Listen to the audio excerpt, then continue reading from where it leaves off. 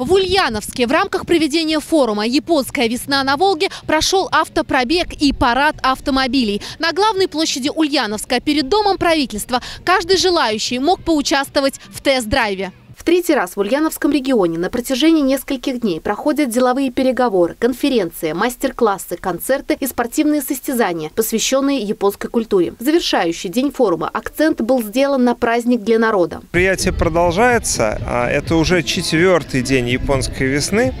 А, и если предыдущие мероприятия были больше посвящены а, молодежным вопросам, а, вопросам культуры, да, то сегодня спортивное и массовое мероприятие, которое как раз больше посвящено людям. На один день японские автокомпании представили автомобили брендов Mazda, Nissan, Datsun для демонстрации и пользования ульяновцам. Организаторы решили провести автопробег, посвященный этому мероприятию, в котором принимают участие японские бренды, представленные в городе Ульяновске.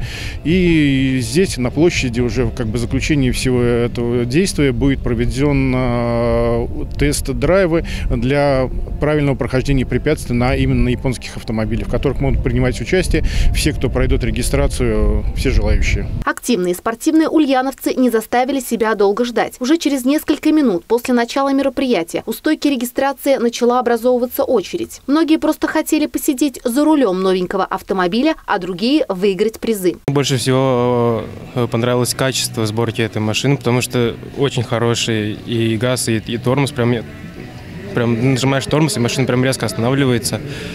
Э, очень хорошее качество сборки, все материалы новые, качественные. Вот.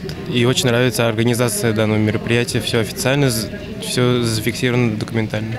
Спортивный праздник субботнего дня продолжила презентация Тафиса. Первый всемирный фестиваль боевых искусств пройдет в Ульяновской области с 13 по 17 сентября 2019 года. К этому событию начинают готовиться уже сегодня. Перед сценой Ульяновские федерации боевых искусств представили своих начинающих и именитых спортсменов. Ребята спарринговали друг с другом и показали на матах самые эффектные элементы тренировок.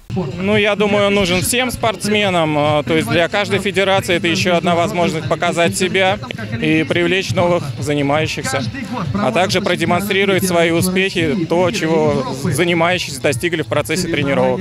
Международный форум закончился для ульяновцев веселыми конкурсами и награждением победителей тест-драйва японских автомобилей. Наталья Чумаченко, Юрий Ломатов. Новости Ульяновской правды.